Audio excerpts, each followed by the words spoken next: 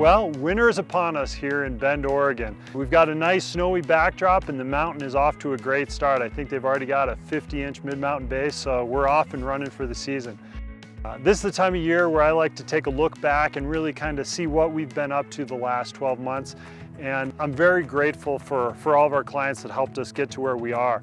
We've done over $35 million in sales in 2014. This represents 100 clients trusting us in what is their biggest investment of their life, and we take our role seriously. 2014 was really the year I hoped for. It was a calm reaction to the couple years that followed the, the recession and the recovery that we saw here in Central Oregon. We trended back towards long-term averages, which was refreshing. Uh, we saw an uh, average appreciation in housing just under 7%, and that followed a couple years of above average appreciation. Inventory was a bit up and down this year. Uh, we saw a lot of resale homes come back on the market this summer, uh, but we're still seeing an overall lack of supply in the market.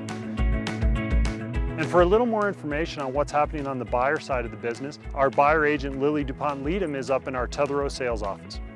Well, 2015 is looking like the market's going to continue to be strong. Home buyers have a unique opportunity to capture historically low interest rates. And even if interest rates go up 1%, a home buyer loses about 20 to 25% of purchasing power. So we're highly encouraging home buyers who have been looking around, thinking about buying a home to take advantage of rates going into 2015.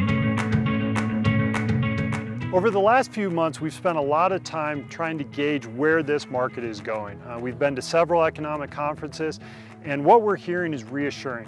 We're in agreement with what the economists are saying that we're going to have another year of steady and planned growth ahead of us, and that's exactly what we want to see in real estate. You know, a predictable market allows us to make wise investments. And the overall economy outside of housing looks great. We have great job creation. In fact, Deschutes County led the state in new jobs created in 2014. And we're also seeing a huge increase in tourism. In fact, we're at record numbers. And we all know what follows those record number of visitors. Those people eventually want to move here. So I think we're going to have a good, consistent year ahead of us.